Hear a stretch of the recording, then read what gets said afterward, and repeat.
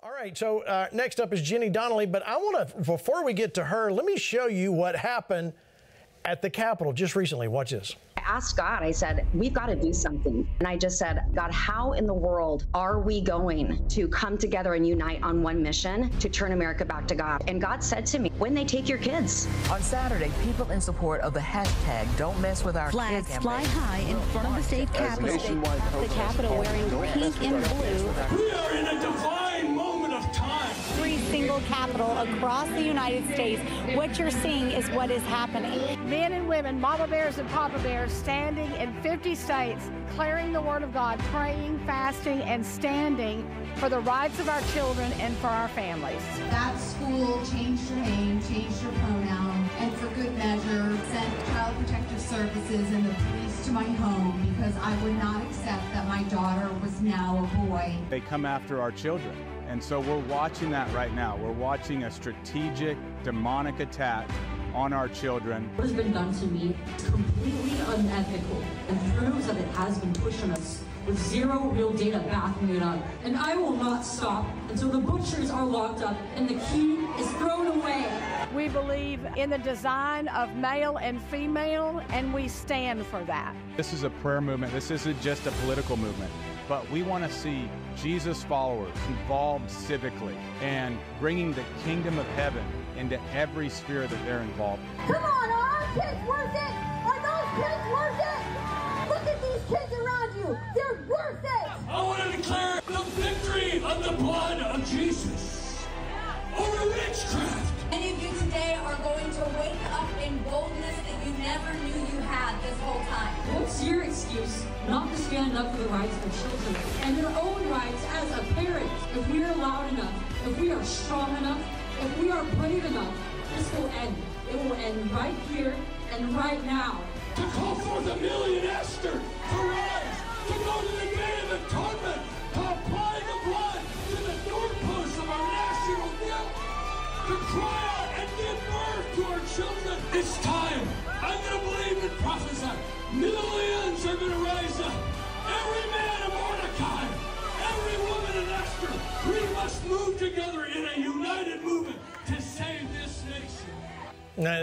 awesome, man. It gets you wound up right there.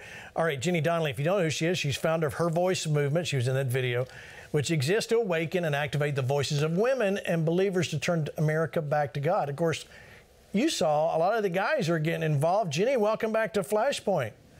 Talk Thank to us. Thank you so much. It's nice yeah, to see you. Good to see you. Talk to us about you know the the capitals, the all the capitals uh, about that movie. What we just looked at. Absolutely. So many people have been coming together, of course, to call a million women to the mall in DC. And as we were looking forward to that, we thought, you know what, there has to be something happening happening locally for men and women to basically begin something profound on a local level, even though obviously we're calling something national in October of 2024. So many of us came together and said, let's do this at every state capital on one single day. And we chose April 13th because Esther chapter 4, 13, which is one of my favorite verses in the book of Esther. It's when Mordecai comes back to Esther after she basically tells Mordecai no. It's illegal. I'm not going to go before the king. I don't want to die. I'm going to keep to myself. I'm now queen. I'm nice and safe here in my palace. This is my translation.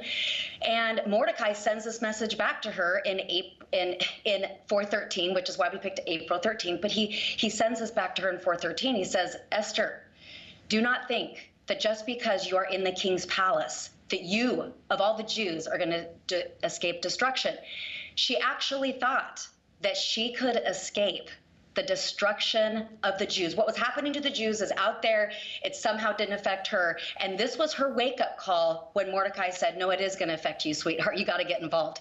So this was our way to say, right. It's time to wake up, ladies and gentlemen. It's time to move forward. But this now launches us into October 12th. All right. So talk about the uh, million women, the, what's happening. Uh, I think we got a graphic here. Explain how people can get involved.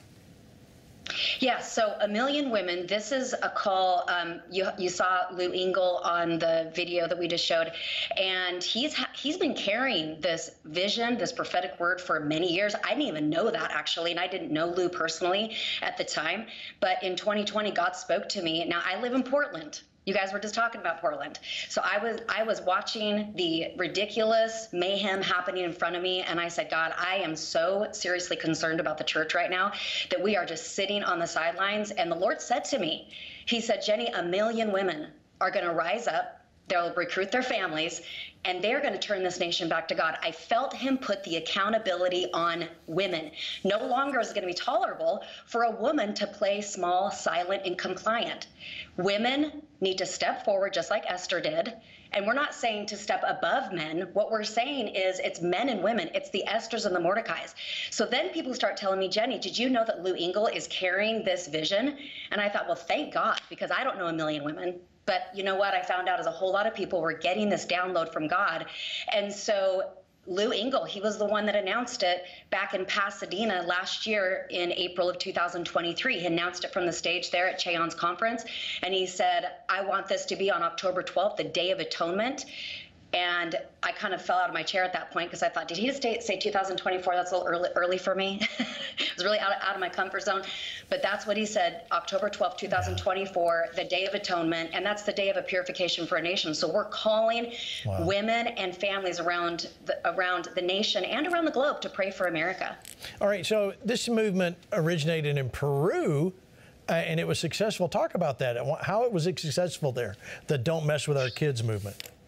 Yeah, so a man named Christian Rosas and his sister in 2016 in Peru, there was just craziness happening, a little more advanced than what we're seeing right now in our own nation. But as an example, it was illegal to call somebody their biological pronoun if they wanted a different pronoun, meaning you were going to prison. You know, right now it's hate speech. Well, it gets worse than that, folks it could go as far as going to prison, which is what it was in Peru in 2016. And so him and his sister, their pastors' kids, young adults, they just said, enough is enough. We're not doing this anymore. And they called the nation of Peru, anybody that loved family. If you love family, you qualify, come to Lima, Peru, and we are going to take a stand for the truth, which is God made male, and God made female, which is why you saw that flag in that video of blue on the left and pink on the right. It was the family flag that they put up that said, We believe that God made two genders. That's it. We're not doing anything else. We're not doing the new vocabulary words. We're not doing the indoctrination. And we are drawing a line. And they had a groundswell of people not come to the date that they set on the calendar, but it happened before because people got so fired up, they started spilling into the streets in cities all throughout Peru. They did have a national gathering in Lima, Peru, but they didn't wait for it. They began acting all over the all over the cities, all over Peru, and then it spilled out to other countries. So when we found out about this, this was the kicker right here. They were able to oust the prime minister, wow. oust the education minister, and George Soros pulled out all of his funding. Guess what? We're seeing George Soros's funding at work on these campuses right now. And so when we heard this, we said, why not America? Let's just do what they did. And that's what we're doing. Well, it's, it's wonderful. It's amazing. All right, so a lot of this with the, the Her Voice movement, which I know is what you started. Uh, talk about there's an app. This is what do women need to get this app to be a part? Yeah, so we just put together this app that basically serves as a hub for women to number one, we want not just women, I mean, hear my heart on this, it's everybody, but we want women and men to go and start a prayer hub. Inside this app, you get all the free prayer guides, and we want you sitting down with your family because family is under attack. So, in the app, you get all these free resources, including prayer guides for kids. Right now, literally, my seven year old is leading a prayer hub of other little kids, and they use the kids' prayer guide to do it.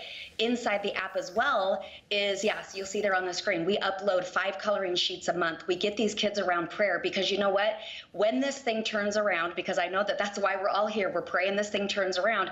We don't want to have our kids locked up in a room and say, hey, kids, it's all taken care of, things are turned around, and they don't know how we engaged in battle. So we want to teach kids how to warfare. We've got to pour into this generation. But in the app, there is a ton of other things. Also, what we call the ground game. Right. So the air game is prayer and fasting. The ground game is register to vote. We want you to go in there if you think, man, God might be calling me to run for office. That seems pretty intimidating. But you know what? People have courses on how to campaign. So we've connected several organizations inside the app that have courses and other processes for you to engage and use your voice to turn America back to God.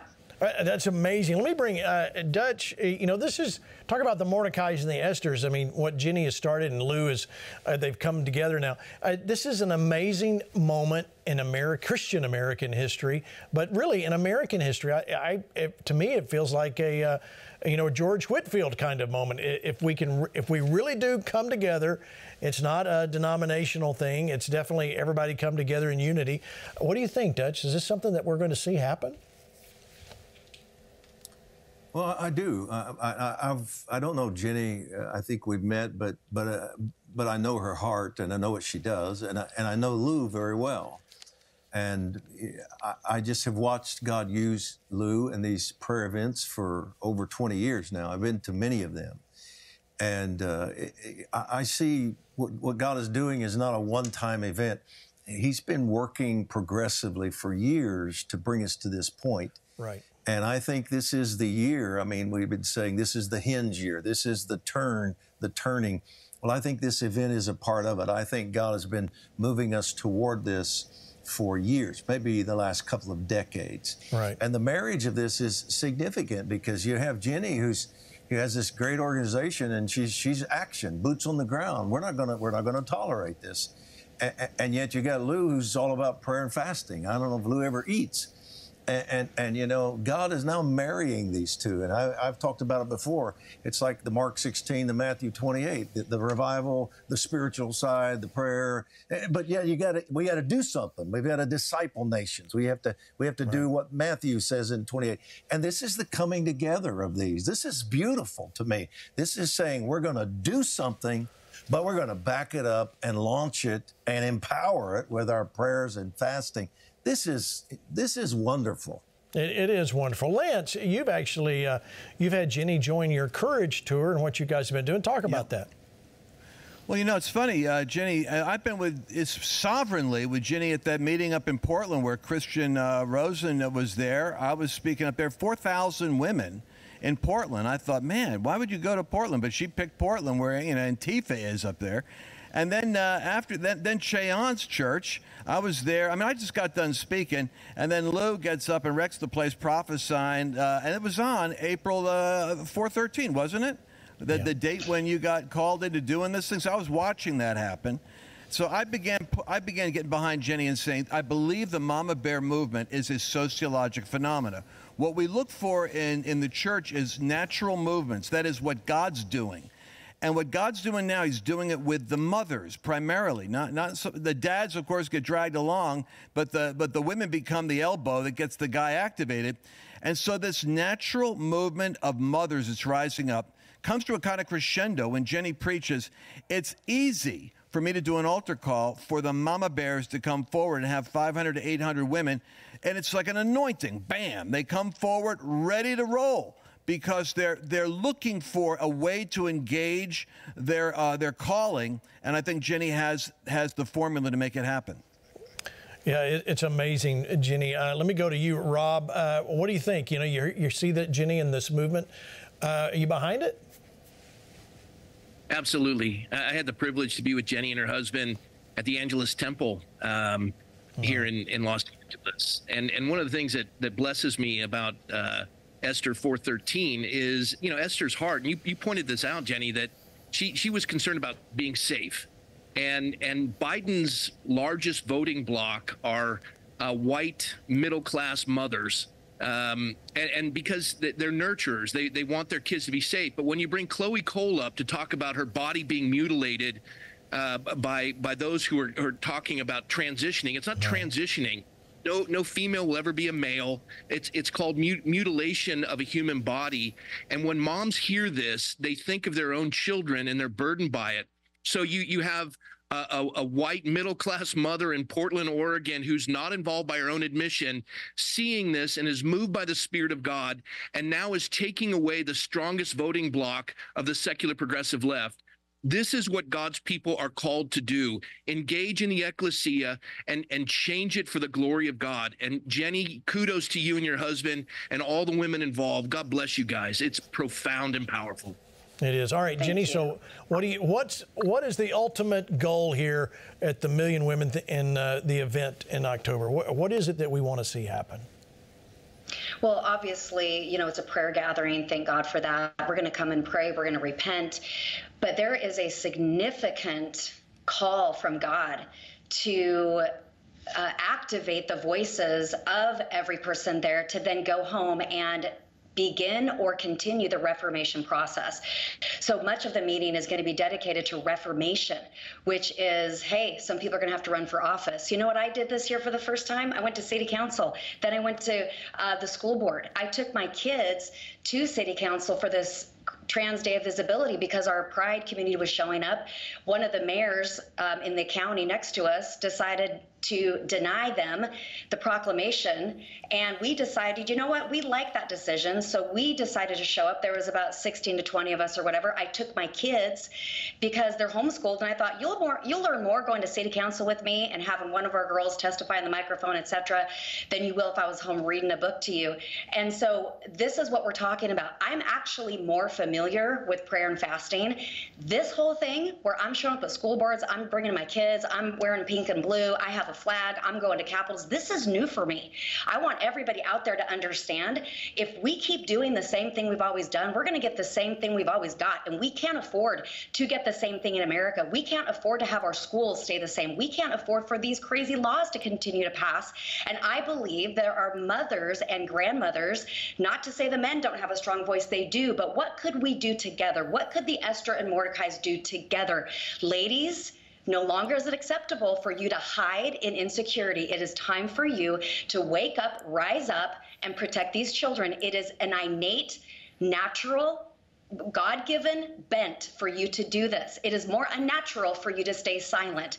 So I just say, you know what? If this mama from Portland can do it, so can these women. Yeah, I agree. You're not burning police cars or anything, are you? You're okay. Not, okay. nope, not doing Okay. that. Yeah. Good to hear. Uh, all right. So if you want more information on A Million Women, you can go to the website millionwomen.org or you can text uh, Esther to 21,000, 21,000, and they can get more information about the call to the mall. Thank you, Jenny, for being with us. Stick around if you got a few minutes, and uh, we'll, we'll, we'll bring you back in the conversation. All right. So much happening. So much happening. We've got to, I got to keep going down the list. What's up next? I want to show you um, what Peter Navarro was on our program uh, a day or two before he had to report for prison. And I want to show you what happened today with uh, Representative Matt Gaetz because he was denied access to Navarro. And you think, well, what's the big deal about that? Watch. alert this House of the actions of the Federal Bureau of Prisons, which seem to be vindicating the claim made by Peter Navarro that he is being held as a political prisoner. I've been trying for five weeks to be able to interview Mr. Navarro. And there are provisions that ought to allow this, and I was informed directly by Director Peters, who runs the Bureau, that that request would be denied. And the reason it's being denied is because Peter Navarro is too notorious to be interviewed by a member of Congress. John Gotti was interviewed when he was in prison. The QAnon shaman was interviewed in prison. Director Peters herself brought NBC News through prisons to showcase the work of corrections that's being done. So I think there is something else afoot here. Mr. Navarro, I'm being told, is not being allowed to access his attorney, and it is because it is shameful what has been done to Peter Navarro based on a sham January 6th committee and a sham indictment and a sham conviction that we ought to, to work to remediate immediately upon President Trump's rightful and righteous return to office. Thank you, Mr. Speaker. I yield back. All right, Lance, you, you hear that? I mean, it, it really is ridiculous. How would, by the way, how would you like for your for you to be remembered always as the QAnon shaman? I mean, it's crazy. But I mean, what he's talking about here with Peter Navarro, I mean, this is pretty blatant what they're doing, isn't it, Lance? Yeah, so, let, so let's uh, catch everybody in the Flashpoint Army up on this. The trade secretary who was responsible for uh, challenging China and bringing manufacturing jobs back to the United States. That was the crime that the Democrat and the swamp didn't like. The second thing he did was he advised President Trump if you want to deal with the immigration challenge, threaten Mexico with a tariff if they continue to let the border be open. That was when Mexico fulfilled the thing that Trump said that they would do, which is they paid to basically build a human wall to keep out the, uh, the illegal immigration. Navarro had to be punished for this because he helped the working class in America. I want you guys to understand how sinister this sick system is. So then, when he uh, when he's called to go before before the January 6th thing, he realizes this is a sham uh, drama. This is a, this is Stalinist theater going on in Washington. They're making up a narrative, and that's being exposed all the time. And he said, "I have executive immunity." I worked for the president. I was a cabinet member. If the president is is standing strong on this, I'm going to stand with him. I won't go show up because I have immunity. Well, they said you have no immunity. We will put you in prison. So now he's denied a congressman's visit. He can't even access his own lawyers because he's so dangerous. And what is he what what is he dangerous for? He's dangerous because he was a prestigious uh, Ivy League educated economist who helped working class Americans and served Trump. That is unforgivable. It is. All right, so you know we we showed you earlier uh, what was going on. I, that's the quick update with Navarro, but we're going to pray because we've got so much to pray. We got to pray either whether it's about the uh, the million women with with Jenny or what we're talking about with the Trump cases and all of the the document case.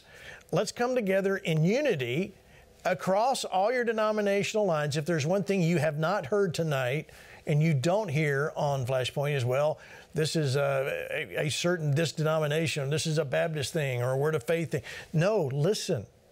You are watching us on a Word of Faith network because that's who sponsors, that's who pays for this program to bring all of you together in victory. So let's pray right now over this situation. Father, we just lift up all that we've talked about tonight, whether it be the million women coming together and the Mordecais and the Esthers coming together in October. Father, I ask you to quicken this and men and women across the nation that are learning about this and they want to do something, they don't know what to do, that this ignites the passion inside them to come alongside Jenny. And I pray protection over Jenny and Lou as they continue to work with Her Voice Movement and a million women, that they are protected. They walk in divine protection. Their angels guard them everywhere they go. And Father, we pray for all the all these sham trials and President Trump and that, Father, that truth prevail. We pray that truth prevails, justice is done, and we commit to continue to pray for justice to be done. Father, I thank you for America. Where America is today is only going to be a shadow of the great things to come. In Jesus' name, in agreement, we said amen. Amen. Amen. All right. Thank you guys for being Jenny. Keep up the good work. We'll check in.